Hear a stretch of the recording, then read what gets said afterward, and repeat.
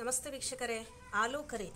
ಇದು ತುಂಬ ಟೇಸ್ಟಾಗಿ ಬರುತ್ತೆ, ಇದು ತುಂಬ ಚೆನ್ನಾಗೂ ಇರುತ್ತೆ, ಆರೋಗ್ಯಕ್ಕೂ ಸಹ ತುಂಬ ಒಳ್ಳೆಯದು ಇದು ಚಪಾತಿಗೆ ಮತ್ತು ಪೂರಿಗೆ ಮತ್ತು ಪರೋಟಕ್ಕೆ ಎಲ್ಲ ತುಂಬ ಹೇಳ್ಮಾಡಿಸಿದಂಥ ಕಾಂಬಿನೇಷನು ಇದನ್ನು ಹೇಗೆ ಮಾಡೋದು ಅನ್ನೋದನ್ನು ಹೇಳ್ಕೊಡ್ತೀನಿ. ಹೇಳ್ಕೊಡೋದಕ್ಕಿಂತ ಮುಂಚೆ ನಮ್ಮ ಚಾನಲ್ಗೆ ಸಬ್ಸ್ಕ್ರೈಬ್ ಆಗಿಲ್ಲ ಅಂದರೆ ಸಬ್ಸ್ಕ್ರೈಬ್ ಆಗಿ ಪಕ್ಕದಲ್ಲಿರೋ ಬೆಲ್ಲೈಕಾನನ್ನು ಒತ್ತಿ ಎಲ್ಲ ವೀಡಿಯೋ ಅಪ್ಡೇಟ್ಸ್ಗಳನ್ನು ಪಡ್ಕೊಳ್ಳಿ.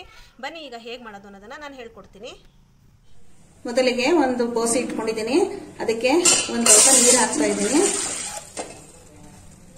ನೋಡಿ, ಇದು ನಾಲ್ಕಂತೆ ಪಾಲಕ್ ಸೊಪ್ಪನ್ನ ತೊಳೆದ್ಬಿಟ್ಟು ದಪ್ಪ ದಪ್ಪ ಹಚ್ಚಿಟ್ಕೊಂಡಿರೋಂಥದ್ದು. ಅದನ್ನ ಈ ನೀರೊಳಗಡೆ ಬೇಯಕ್ಕೆ ಹಾಕ್ತಾ ಇದ್ದೀನಿ. ಇದು ನೀರೆಲ್ಲ ಕುದಿ ಬಂದು ಸ್ವಲ್ಪ ಒಂದು ನಿಮಿಷ ಅಷ್ಟು ಬೇಯಿಸ್ಕೊಂಡ್ರೆ ಸಾಕು. ನೋಡಿ, ಪಾಲಕ್ ಸೊಪ್ಪು ಒಂದು ನಿಮಿಷ ಬೆಂದ್ರೆ ಸಾಕು. ಇದನ್ನ ಒಂದು ಪಾತ್ರೆಗೆ ಸೋಸ್ಕೊತಾ ಇದ್ದೀನಿ. ಪಾಲಕ್ ಸೊಪ್ಪು ಕುದಿ ಬಂದ್ಮೇಲೆ ಒಂದು ನಿಮಿಷ ಬೆಂದ್ರೆ ಸಾಕು. ಇದನ್ನ ಜಾಸ್ತಿ ಬೇಯಿಸಕ್ ಹೋಗ್ಬೇಡಿ. ನೋಡಿ, ಇದಕ್ಕೆ ಸ್ವಲ್ಪ ತಣ್ಣೀರನ್ನ ಹಾಕಿ ಈ ತರ ತೊಳ್ಕೊಂಡಿದ್ದೀನಿ. ಇದನ್ನ ಬಿಸಿ ಇದ್ರೆ ಮಿಕ್ಸಿ ಮಾಡಕ್ಕಾಗಲ್ಲ ಅಂತ ಹೇಳಿ ತಣ್ಣೀರ್ ಹಾಕೊಂಡು ಸ್ವಲ್ಪ ತಣ್ಣು ಮಾಡ್ಕೊಂಡಿದ್ದೀನಿ. ನೋಡಿ, ಈಗ ಮಿಕ್ಸಿ ಜಾರ್ ತಗೊಂಡಿದ್ದೀನಿ ತಣ್ಣಗಾಗಿರೋಂಥ ಪಾಲಕ್ ಸೊಪ್ಪನ್ನ ಹಾಕ್ತಾ ಇದ್ದೀನಿ. ನೋಡಿ, ಒಂದ್ ಇಂಚು ಶುಂಠಿನ ಸಣ್ಣದಾಗಿ ಹಚ್ಕೊಂಡು ಅದ್ರೊಳಗಡೆ ಹಾಕ್ತಾ ಇದ್ದೀನಿ. ಸಣ್ಣದಾಗಿ ಹಚ್ಚಿರೋಂತ ನಾಲ್ಕು ಹಸಿಮೆಣಸಿನ್ಕಾಯಿನ ಹಾಕ್ತಾ ಇದ್ದೀನಿ. ಇದನ್ನ ಸ್ವಲ್ಪ ನೀರ್ ಹಾಕೊಂಡು ಗ್ರೈಂಡ್ ಮಾಡ್ಕೊಳ್ಳೋಣ. ನೋಡಿ, ಇನ್ನೊಂದ್ ಕಡೆ ಒಂದ್ ಪಾನ್ ಇಟ್ಕೊಂಡಿದೀನಿ ಅದಕ್ಕೆ ಒಂದ್ ಎಂಟು ಸ್ಪೂನ್ ಅಷ್ಟು ಎಣ್ಣೆ ಹಾಕ್ತೀನಿ.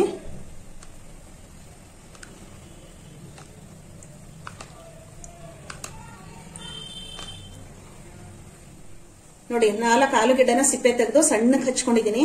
ಇದನ್ನ ಹಾಕಿರೋಂತ ಎಂಟು ಸ್ಪೂನ್ ಎಣ್ಣೆಗೆ ಆಲೂಗೆಡ್ಡೆನ ಹಾಕ್ತಾ ಇದ್ದೀನಿ. ಇದ ಬ್ರೌನ್ ಕಲರ್ ಬರೋವರೆಗೂ ಇದೇ ಎಣ್ಣೆಲಿ ಹೀಗೆ ಫ್ರೈ ಮಾಡ್ತಾ ಇರೋಣ. ನೋಡಿ, ಬ್ರೌನ್ ಕಲರ್ ಆಗಿದೆ ಈಗ ಆಲೂಗೆಡ್ಡೆ. ಇಷ್ಟು ಸಾಕು. ಇದನ್ನ ಒಂದು ಟಿಶ್ಯೂ ಪೇಪರ್ನಾಗೆ ತಗೋತಾ ಇದ್ದೀನಿ.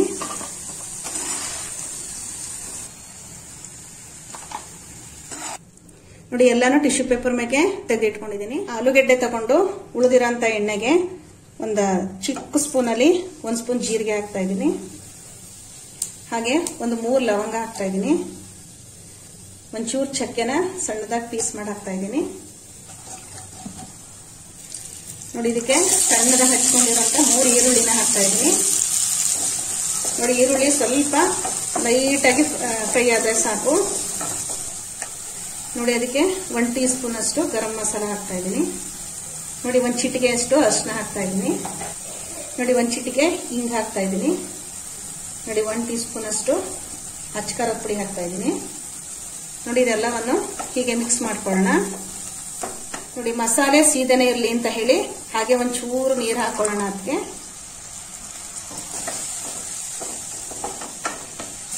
ನೋಡಿ, ಇದು ಬೆರೆಸ್ಕೊಂಡಾದ್ಮೇಲೆ ಮೂರು ಟೊಮೊಟೊನ ಸಣ್ಣದಾಗಿ ಹಚ್ಕೊಂಡಿದ್ದೀನಿ. ಅದನ್ನ ಹಾಕ್ತಾ ಇದ್ದೀನಿ. ಇದನ್ನ ಒಂದು ಎರಡು ನಿಮಿಷ ಹೀಗೆ ಫ್ರೈ ಮಾಡೋಣ. ನೋಡಿ, ಇದಕ್ಕೆ ಒಂದು ಸ್ಪೂನ್ ಉಪ್ಪು ಹಾಕ್ತಾ ಇದ್ದೀನಿ. ಟೊಮೊಟೊ ಬೇಗ ಬೇಯುತ್ತೆ ಉಪ್ಪು ಹಾಕಿದ್ರೆ. ನೋಡಿ, ಎರಡು ನಿಮಿಷ ಬೆಂದಂತ ಟೊಮೊಟೊಗೆ ಕಡಲೆ ಹಿಟ್ಟನ್ನ ಒಂದೂವರೆ ಸ್ಪೂನು ಕಡಲೆ ಹಿಟ್ಟು ಹಾಕ್ತಾ ಇದ್ದೀನಿ. ಯಾಕೆ ಕಡಲೆ ಹಿಟ್ಟು ಹಾಕ್ತಾ ಇದ್ದೀನಿ ಅಂತಂದ್ರೆ ಟೊಮೊಟೊ ನೀರು ಬಿಟ್ಕೊಳ್ಳೋದನ್ನ ಇರ್ಲಿ ನೋಡಿ, ಈಗ ಟೊಮೆಟೊ ಗಟ್ಟಿಯಾಗಿದೆ. ಅದಕ್ಕೆ ರುಬ್ಬಿರೋಂಥ ಮಿಶ್ರಣವನ್ನ ಹಾಕ್ತಾ ಇದ್ದೀನಿ. ನೋಡಿ, ಮಿಕ್ಸಿ ಜಾರ್ ತೊಳ್ಕೊಂಡು ಸ್ವಲ್ಪನೇ ನೀರು ಹಾಕೋತಾ ಇದ್ದೀನಿ. ನೋಡಿ, ಇದೆಲ್ಲವನ್ನು ಹೀಗೆ ಮಿಕ್ಸ್ ಮಾಡ್ಕೊಳ್ಳೋಣ. ಇದನ್ನೊಂದು ಎರಡು ನಿಮಿಷ ಉಪ್ಪು ಟೇಸ್ಟ್ ನೋಡಿಕೊಂಡು ಹೀಗೆ ಕುದಿಸ್ಕೊಳ್ಳೋಣ. ನೋಡಿ, ಇದಕ್ಕೆ ಆಲೂಗಡ್ಡೆನ ಹಾಕ್ತಾ ಇದ್ದೀನಿ. ನೋಡಿ, ಎಲ್ಲವನ್ನು ಮಿಕ್ಸ್ ಮಾಡಿ. ನೋಡಿ, ಅದು ಬೇಯುವಾಗ ಟೇಸ್ಟ್ ನೋಡಿ. ಟೇಸ್ಟ್ ಕಡಿಮೆ ಆಗಿದ್ರೆ ಉಪ್ಪು ಹಾಕೊಳ್ಳಿ. ನೋಡಿ ಲಿಡ್ ಕ್ಲೋಸ್ ಮಾಡಿ. ಒಂದೆರಡು ನಿಮಿಷ ಲೋ ಫ್ಲೇಮಲ್ಲಿ ಹಾಗೇನೆ ಬೇಯಿಸ್ಕೊಳ್ಳಿ. ನೋಡಿ, ಇದು ಎರಡು ನಿಮಿಷ ಲೋ ಫ್ಲೇಮಲ್ಲಿ ಬೆಂದಿದೆ. ನೋಡಿ, ಇದಕ್ಕೆ ಸ್ವಲ್ಪ ನಿಂಬೆಹಣ್ಣು ಹುಳಿನ ಹಾಕ್ತಾ ಇದ್ದೀನಿ. ಸ್ವಲ್ಪ ಕೊತ್ತಂಬರಿ ಸೊಪ್ಪನ್ನ ಹಾಕ್ತಾ ಇದ್ದೀನಿ. ಈಗ ಸ್ಟವ್ನ ಆಫ್ ಮಾಡ್ತಾ ಇದ್ದೀನಿ. ಇದೆಲ್ಲವನ್ನು ಹೀಗೆ ಮಿಕ್ಸ್ ಮಾಡೋಣ. ನೋಡಿ, ನಾನು ಚಿಕ್ಕ ಕೈವಾರ ಇಟ್ಕೊಂಡಿದ್ದೀನಿ. ಅದಕ್ಕೆ ಒಂದು ಸ್ಪೂನ್ ಬೆಣ್ಣೆನ ಹಾಕ್ತಾ ಇದ್ದೀನಿ. ನೋಡಿ, ಬೆಣ್ಣೆ ಕರಗಿದೆ. ಅದಕ್ಕೆ ಒಂದು ಸ್ಪೂನ್ ಜೀರಿಗೆ ಹಾಕ್ತಾ ಇದ್ದೀನಿ. ನೋಡಿ, ಖಾರ ಬೇಕು ಅಂದ್ರೆ ಖಾರದ ಪುಡಿನ ಈ ಬೆಣ್ಣೆ ಒಳಗಡೆಗೆ ಹಾಕೊಂಡು ಪಲ್ಯದೊಳಗೆ ಹಾಕೊಳ್ಳಿ. ಬೇಡ ಅಂತ ಹೇಳಿದ್ರೆ ಇದೇ ಒಗ್ಗರಣೆನ ಪಲ್ಯದೊಳಗಡೆ ಹಾಕಿ ಮಿಕ್ಸ್ ಮಾಡೋಣ. ನೋಡಿ, ಇದಕ್ಕೆ ಹಾಕ್ತಾ ಇದ್ದೀನಿ. ನೋಡಿ ಇದಕ್ಕೆಲ್ಲ ಹೀಗೆ ಮಿಕ್ಸ್ ಮಾಡ್ಕೊಳ್ಳೋಣ. ನೋಡಿ ಇವಾಗ ರೆಡಿ ಆಗಿದೆ.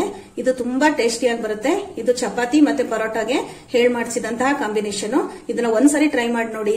ಈ ವಿಡಿಯೋ ಇಷ್ಟದಲ್ಲಿ ಲೈಕ್ ಮಾಡಿ ಕಮೆಂಟ್ ಮಾಡಿ ಸಬ್ಸ್ಕ್ರೈಬ್ ಆಗಿ. Thank you